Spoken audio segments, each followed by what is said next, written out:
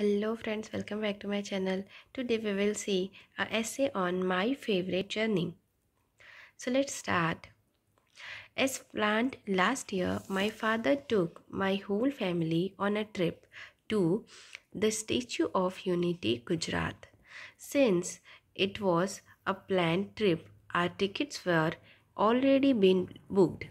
Once the date arrived, I was very excited and thrilled as I have heard and read so much about it that I was filled with excitement to see it in real.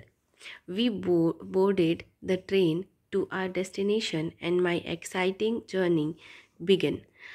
The magnificent landscape, views, and the variety of food stalls at every passing station made the journey that much more thrilling. Since I was a little kid, one thing I loved was getting down on every station passing by and have some fun there. This journey was no other. I made sure I was down on every possible station and tasted the food available there.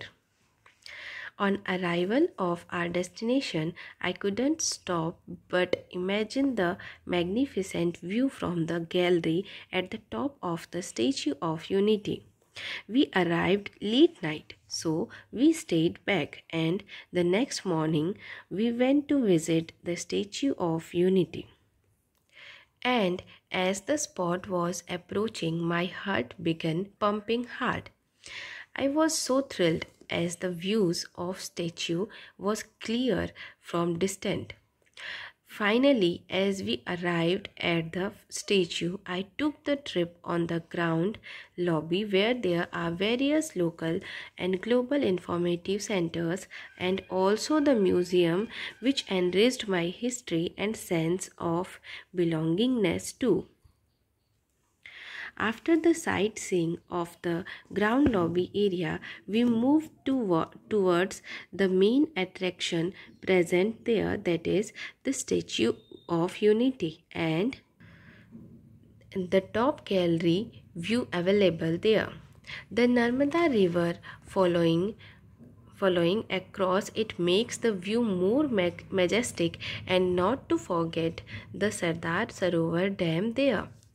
On reaching the top gallery area, the view from there took my breath away, and I was left in awe of the magnificent view of the nature. As we were on ground lobby, the river boating scheme made me try too and it was a fun and relaxing ride as I felt the running river through my fingers the day come to uh, an end with the authentic local cuisine near the spot and i felt satisfied with sorry felt so satisfied with our visit.